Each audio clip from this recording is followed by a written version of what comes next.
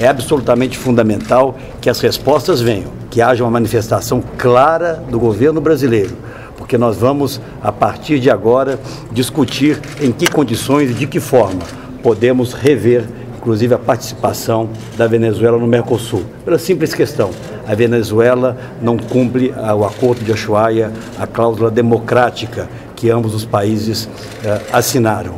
Se existia alguma dúvida em relação àquilo que prevalece hoje na Venezuela, os oito senadores de diversos partidos que lá estiveram voltam para dizer que não há que se ter qualquer dúvida. A Venezuela não vive uma democracia os oposicionistas são aterrorizados, alguns deles